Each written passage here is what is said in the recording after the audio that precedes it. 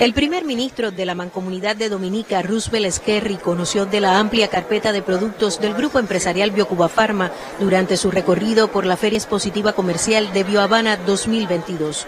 Como parte del evento, participó de la firma de un acuerdo de confidencialidad para la comercialización del Everprop P entre la ministra de Desarrollo y Empoderamiento de su nación, la doctora Addis King, y el vicedirector del Centro de Ingeniería Genética y Biotecnología, doctor Jorge Valdés Hernández.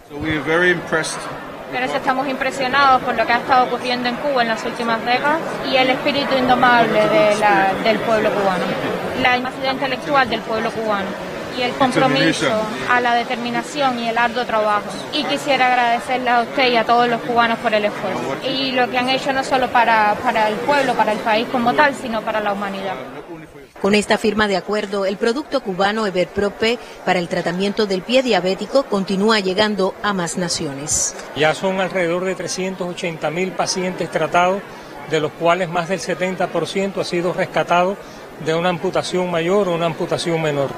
Hasta donde tenemos conocimiento, el producto hoy por hoy no tiene competencia, no tiene rival desde el punto de vista farmacológico para el tipo de patología en cuestión que se está tratando, o sea, para las lesiones terminales de alto grado, lesiones como llaman los especialistas en angiología grado 3, grado 4. Como parte del evento académico en esta jornada tuvo lugar la conferencia magistral del doctor José Ángel Portal Miranda sobre las respuestas de Cuba a la pandemia de COVID-19, en la que mostró el modelo de enfrentamiento basado en la ciencia, la epidemiología y la actividad asistencial.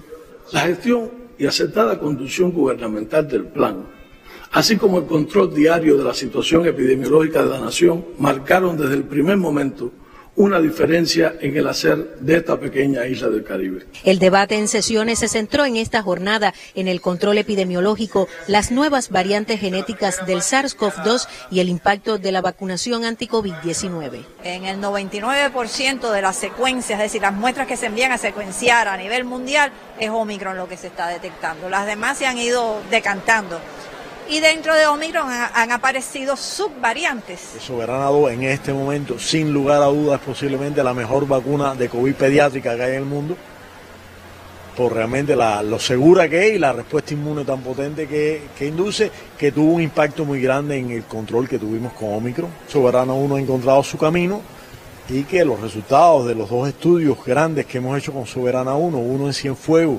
comparándolo con Soberana 2 y otro de refuerzo en el personal de salud de La Habana, ha mostrado que realmente Soberana 1 es mejor en despertar la respuesta a aquellos que son malos respondedores.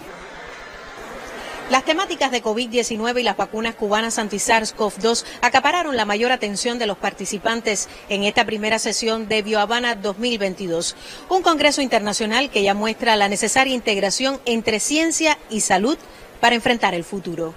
Gisela García Rivero, Sistema Informativo de la Televisión Cubana.